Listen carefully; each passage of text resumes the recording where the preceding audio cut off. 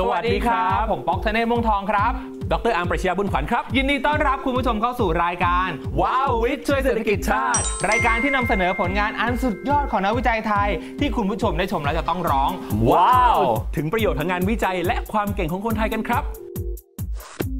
ตอนเดินทางอุ่นใจกลับถึงบ้านปลอดภัยด้วย SafeMate นี่นี่นี่วันหยุดยาวที่ผ่านมาพี่กลับบ้านต่างจังหวัด นั่งรถตู้ โอ้โห สุดๆ ไปเลยอะสุดๆ ยังไงเหรอครับพี่ก็เสียวสุดๆ นะสิครับ คนขับนะ ขับปาดซ้ายแซงขวา ใจพี่ตกไปอยู่ตะตุ่มหมดเลยอะโอ้ยน่ากลัวมากเลยครับใช่พี่ยิ่งถ้าเป็นช่วงเทศกาลนะครับอืมคนขับต่างจังหวัดกันเยอะๆเนี่ยยิ่งต้องระวังเป็นพิเศษเลยนะครับอืมก็ใช่อะสิ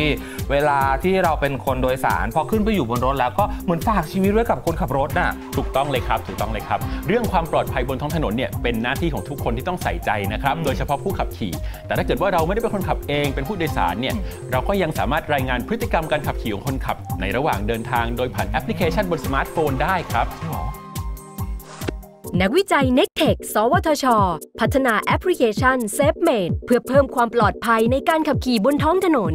โดยใช้ accelerometer sensor ที่มีอยู่บนสมาร์ทโฟน ช่วยประมวลผลเหตุการณ์ ในการขับขี่แบบ real time เช่น การเบรกการเร่ง เปลี่ยนเลน และเลี้ยวกระทันหัน สามารถแจ้งเตือนเมื่อมีการขับขี่แบบอันตราย หรือขับเร็วเกินความเร็วที่กำหนด มีระบบเก็บประวัติการขับรถ พร้อมแสดงข้อมูลรายสัปดาห์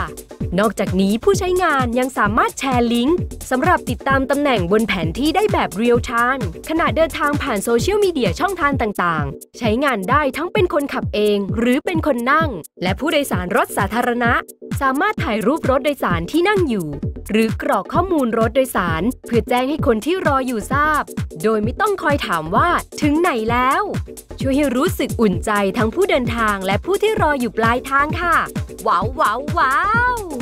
ผู้ที่สนใจสามารถดาวน์โหลด SafeMate ได้ฟรี ที่ Google Play และ App Store โอ้โห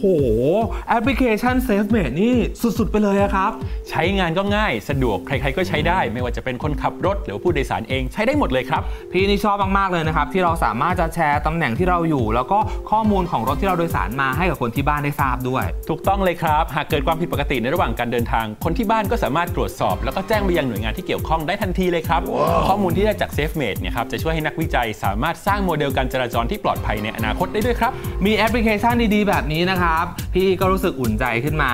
คุณผู้ชมสามารถจะดาวน์โหลดมาใช้กันเยอะๆได้นะครับ เพื่อความปลอดภัยในการเดินทางของเรา